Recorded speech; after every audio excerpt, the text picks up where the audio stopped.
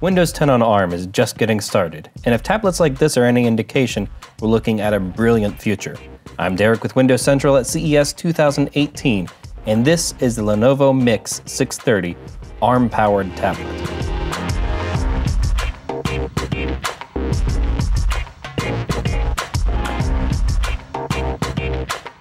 From the outside, it's not immediately obvious there's anything different about the Miix 630.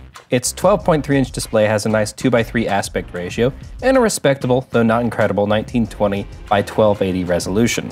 The simple metal design isn't going to turn heads, nor will the limited port selection, a single USB-C and an audio jack.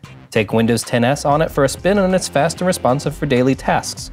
But if you open it up, you'll find a Qualcomm Snapdragon 835 processor inside, and not Intel.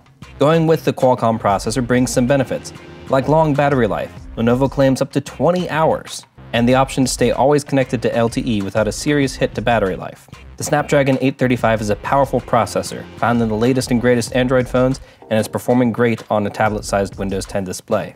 The one oddity with the Miix 630 is the keyboard cover. It's a two-in-one tablet, but instead of building a kickstand into the back of the tablet, Lenovo integrated it into the keyboard cover instead. It wraps around the back with a leather texture and flips down to prop up the tablet when you want to use it like a laptop.